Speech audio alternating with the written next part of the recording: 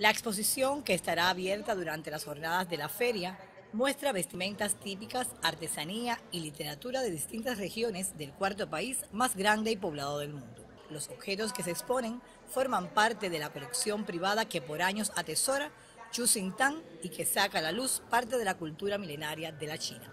Quisimos traer para apoyar al museo ciertas, ciertos cuadros típicos chinos, tradicionales que se fabrican hoy en día industrialmente, pero bueno, para mostrarle algo de los paisajes naturales y esas cosas.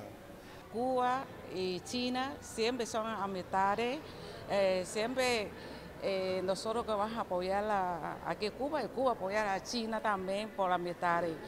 En consonancia con la fiesta cubana del libro, se muestra literatura china que recrea la huella de sus emigrantes a la isla desde los finales del siglo XIX hasta primeras décadas del XX. Y como curiosidad, libros cubanos impresos en chino como Fidel Castro Ruz, guerrillero del tiempo, de la periodista Katiuska Blanco. En el panel, prestigiosos escritores reconocieron rasgos históricos de las diferentes dinastías, las características del socialismo chino, las diferencias entre la ciudad y el campo, entre otras aristas de la vida de esta milenaria cultura.